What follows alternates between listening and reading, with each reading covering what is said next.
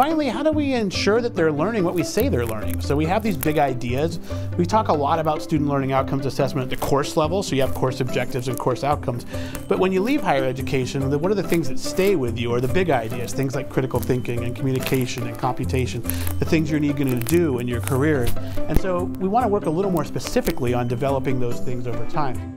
The nice thing about this is because it's a series of big ideas, the college can use its expertise in understanding its local economy local transfer system. I mean, uh, some of those places, um, you know, if you're up at Butte College in Northern California, you got a great relationship with Chico State because you're right next door to them. They have really have the chance to you have really strong transfer pathways. I mean, if you're 60 miles from the nearest college, you have a nearest four-year transfer school. You've got a different set of things you're going to have to do.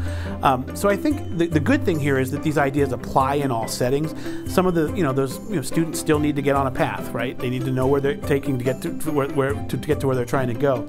Um, one other thing you brought up there is the kind of intersection between career and transfer, and we very strongly believe it's all different spots on a continuum. Right? We talk about true career pathways and, and kind of stackable credentials and those things happening over time. That that's something I think we've said a lot. That folks like Career Ladders Project and others in California have really helped make real.